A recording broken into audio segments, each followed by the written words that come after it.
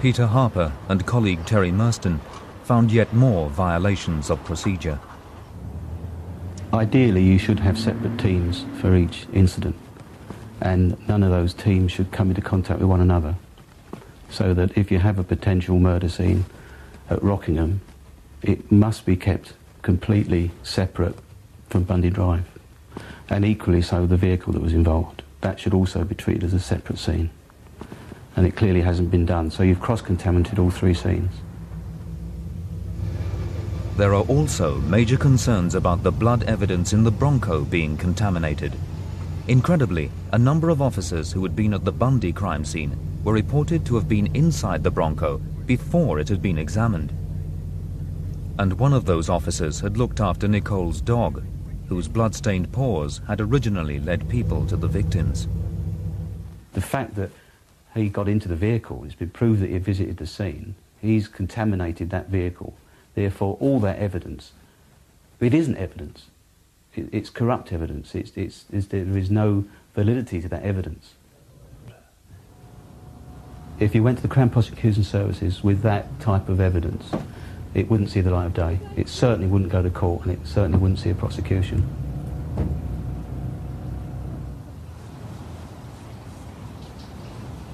Remarkably, just 36 hours after the murders, the Bundy Drive crime scene was washed down. But was this a case of bad police practice? Or was the evidence actively tampered with, or even planted, to help their case against Simpson?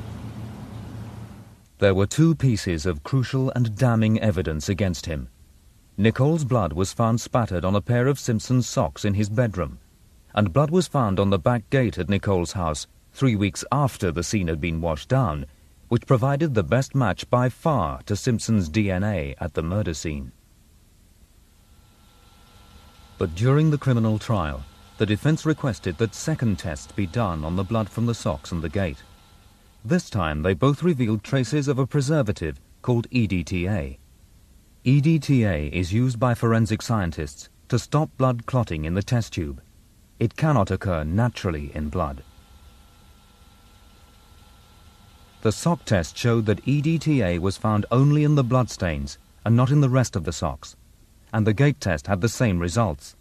EDTA was found only in the bloodstains and not in the control samples taken from the gate.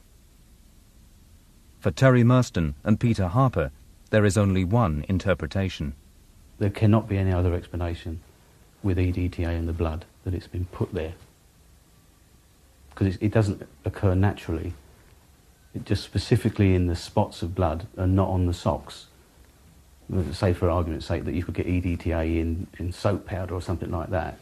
Well, if, if that was possible, then that would explain the EDTA in the blood because it was in the socks. But when the socks haven't got EDTA or any sign of it, but the blood has, speaks for itself. Someone must have put it there. The blood evidence in Simpson's Bronco was also crucial to the case against him. Two days after the murders, the car was tested. Simpson's blood was found, but there were also traces of both victims' blood. Particularly noticeable were the bloodstains on the center console, labeled as items 30 and 31. Item 30 was found to be only Simpson's blood. But like the sample from the gate, when the blood evidence in the Bronco was re-examined three months later, it had also changed. In particular, the results from the console were now very different. Item 30, relabeled as 303 and 306, was now found to be a mixture of Simpson's, Ron Goldman's, and Nicole's blood. 304 and 305 also differed from the original analysis. And 305 could only have been made with a hand wet with fresh blood. So how did the stains get there? If they were made by either of Simpson's hands, then the hands had to be covered in blood from both himself and the victims.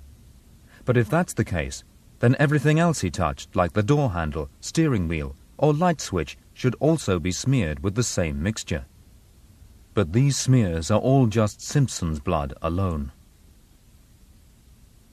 If the stains were made with Simpson's right hand and he was still wearing the glove, then the finger area of the glove should have his blood on the fingertips as well as blood from the victims.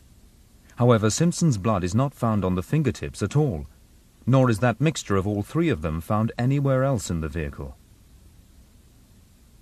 We both think that that blood, those finger marks, were put on that console at a later time. They were not on that console at the time of the murder. The area they're in, I would say, is impossible for those finger marks to be put onto that console without either the console being removed or the seat being removed. And the reason I say that is because the finger marks, if they were facing downwards, you might say, okay, that's a possibility, but they're not. The finger marks are facing upwards. You can't do it with the, with the right hand unless you've got an extremely flexible wrist and you can turn your hand at right angles. It's got to be your left hand, which means the elbow and forearm have got to be below the hand. They wouldn't be able to do it because they wouldn't get their elbow and forearm low enough for their hand to put the finger marks in that position. So, with serious doubts over the blood from the Bronco, the gate, and the socks, does this mean that the police were actively sweetening the case against Simpson? Numerous allegations have now surfaced about LAPD officers planting evidence.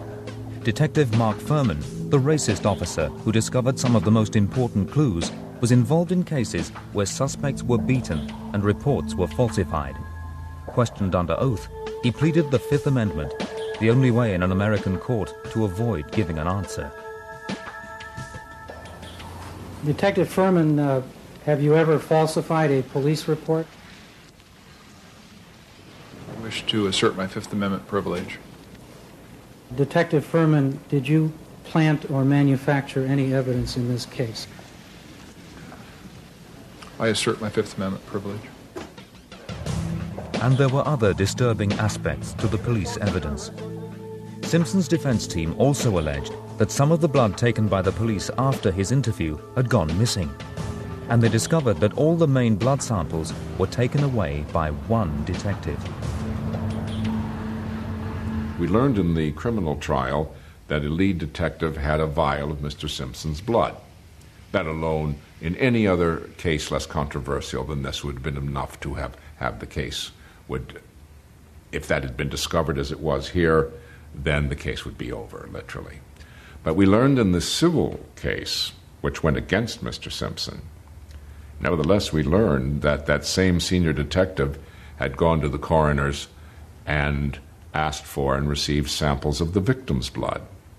And therefore, the blood of all the principals, that's 100% of the blood types found in this case, on the fence, on the ground, on gloves, on socks, on clothing, in the car, the universe of blood in this case, samples of which were in the hands of senior, at least one senior detective thus violating the chain of evidence, absolutely, violating every safeguard, every tradition, every expectation on the part of the prisoner at the bar, not admitted freely, but dug out by a highly active and aggressive defense team. Mr. Simpson, would you please stand and face the jury? So, despite Simpson's blood at the scene and his lack of an alibi, there are now reasonable doubts about the evidence at all three crime scenes. Superior Court of California, County of Los Angeles, in the matter of the people of When the verdict came, America stopped to watch, and the result split the nation. We, the jury, in the above entitled action, find the defendant Orenthal Orenthal James Simpson not guilty of the crime of murder in violation Some hailed the result as a victory over a system that would do anything to secure a conviction. His defense team believed that there was a wider pattern of police corruption.